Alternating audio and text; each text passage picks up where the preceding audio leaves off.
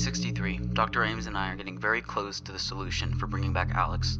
We have used a material created by me that I like to call Material Y. Material Y has very specific properties that can bring back the dead. However, it is very unstable and has not been tested properly. So, I'm not going to give Dr. Ames this knowledge. I fear that if he were to ever find out about it while the material is in this state, he would use it too soon to bring back his daughter. Anyways, this is Dr. Jacobs, signing off.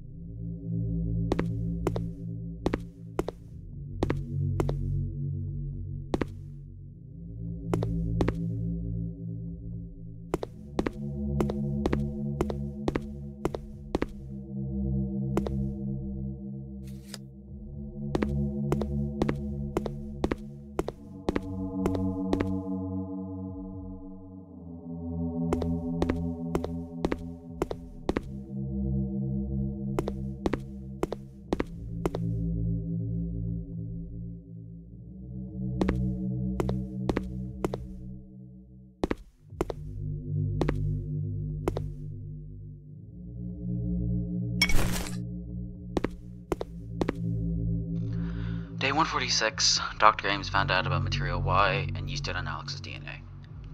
God, I should have been more careful. However, it, it seems to be working so far. The skin is growing around the DNA sample. I just can only hope that nothing terrible becomes of this.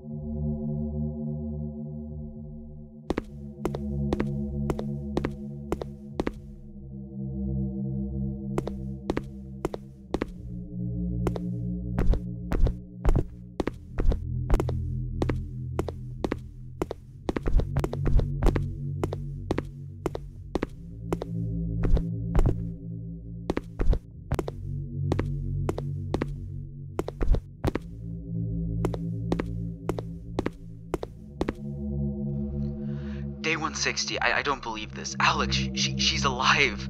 She's fully regenerated, and she looks exactly like she did from before the accident. This is a huge day for mankind.